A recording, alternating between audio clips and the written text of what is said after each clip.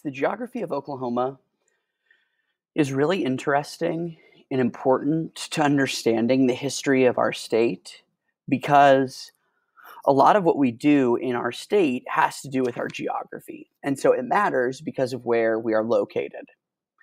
And where we are located impacts not only the physical land that we have, but also temperature, climate, wind, rain, tornadoes, all of those things impact the history of the state of Oklahoma. And so geography is a really good place to start because it really um, has a deep impact on our state. So this lecture will be in two parts. The first part will be for Monday and Tuesday. The second part will be for Thursday and Friday this week. Um, on day one, so on Monday and on Tuesday, we're going to get, um, you're going to get assigned to groups. In those groups, you are going to um, work with a partner, group of two. This will, um, this will be both A and B groups together.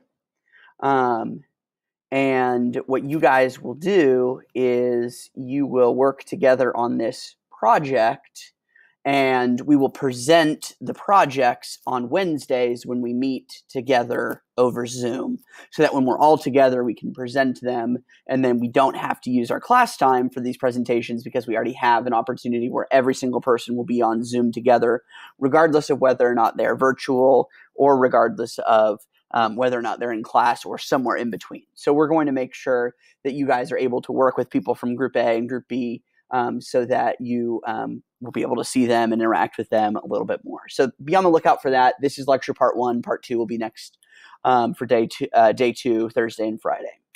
So the physical geography of Oklahoma, a couple of facts and figures for you.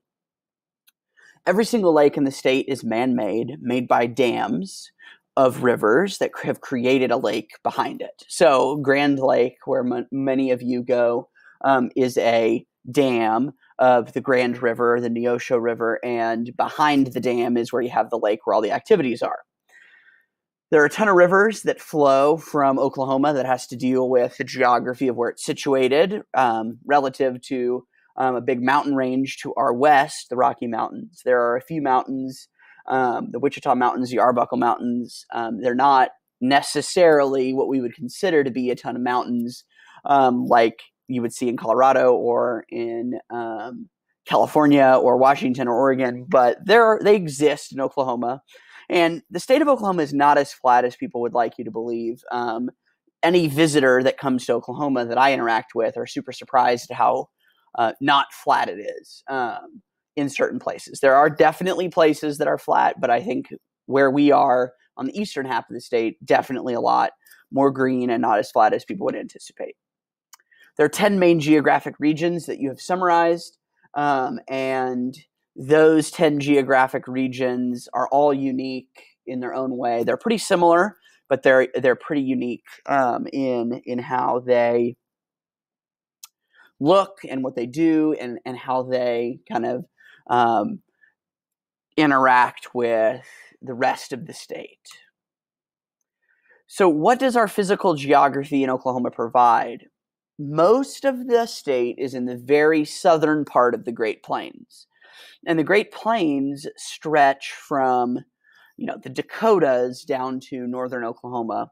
And they provide great farmland, right? We think Nebraska, Iowa, Kansas, right? The breadbasket of the United States, even into the Midwest, where there's good farming.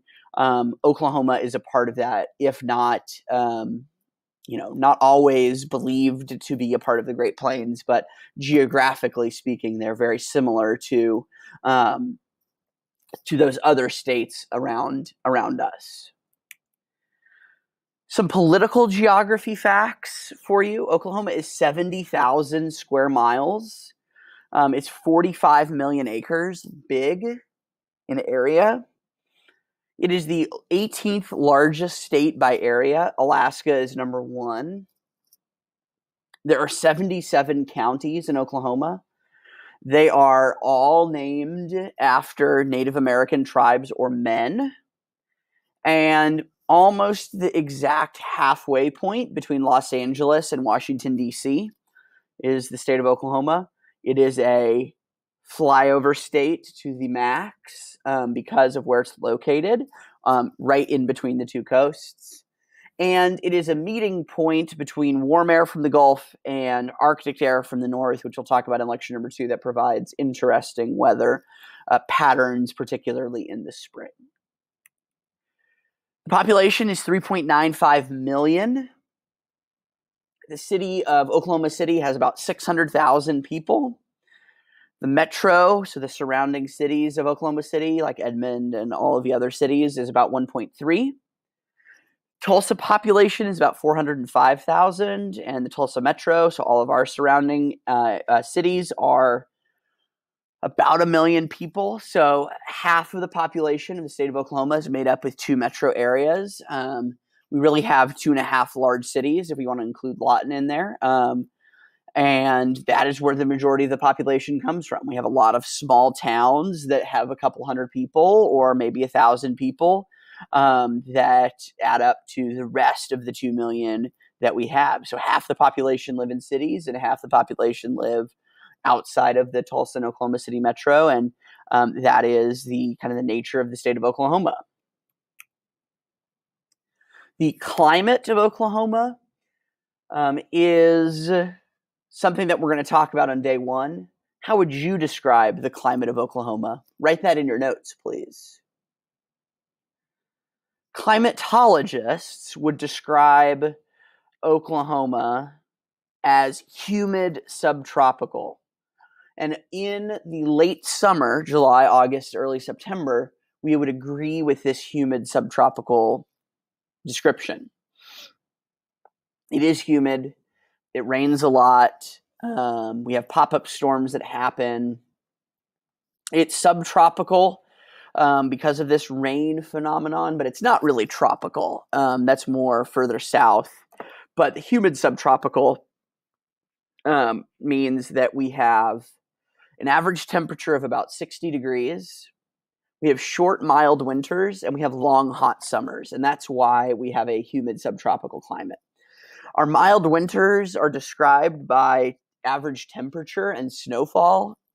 We would be honest with ourselves um, if we're being about the the climate of Oklahoma is is relatively is relatively mild. And then our long hot summers, right? Summer really starts in in March sometimes or April, um, and continues through through November a lot of times. So long hot summers, short, mild winters. Even though we hate it, our climate is really temperate.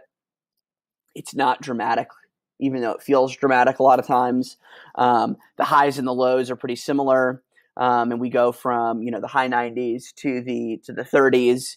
Um, but we don't go from the high 90s to the teens or to negatives um, like some like some states in the northeast do. Um, so in Oklahoma, the temperature varies between north and south. The northernmost part of the state typically is, is cooler. It's warmer in the south as we get closer and closer to the equator.